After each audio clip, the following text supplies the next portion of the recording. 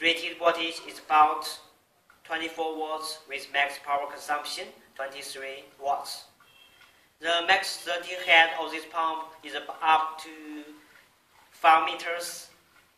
By the way, this pump is only about 250 grams. So light weight, so mini size. We can see it's quite powerful and can work with quite no noise. By the way, uh, this pump, the brown line is positive, the blue line is negative. The splitting power supply can be 24 volts source adapter or solar panel or battery, but all are okay. Now we connect it to the fitting source adapter to see its real working effect and noise class. How, where we are connected to the source adapter, then we can feel the noise class when some much more work. Now we see spraying effect,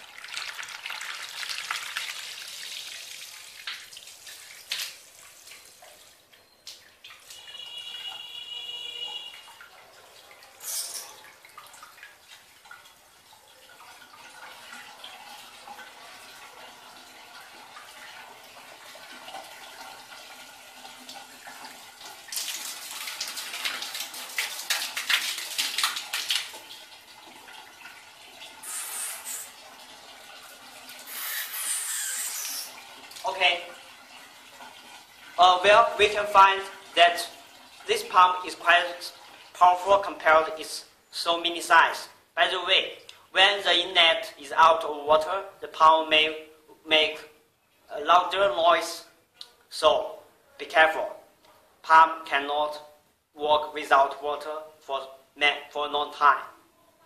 So if you are interested in our products more detailed information, you can contact us, Chip Micro Pump and Motors Technology Corporation, Ltd. Sincerely, bye-bye.